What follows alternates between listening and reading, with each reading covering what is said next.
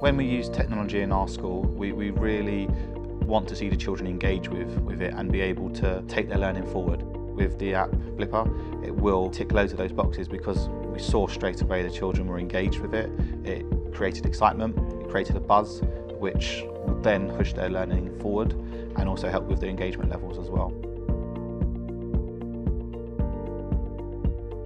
Well, I thought Blippar was a great app to use for learning because I really do like using technology in my classroom. Normally we're just writing out stuff, but when we use technology, it's just much easier to realise how things work like maths and English.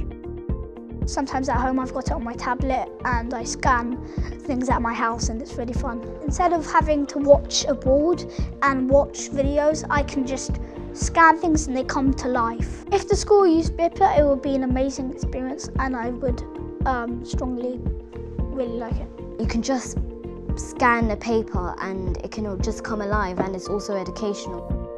Uh, I think Blippar is useful for the class because it has really good uh, applications in terms of bringing uh, parts of learning to life.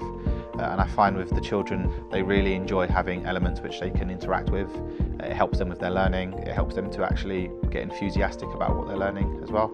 And uh, taking it forward, it helps them to verbalise and explain what they're talking about. My one word for Blip would be awesome.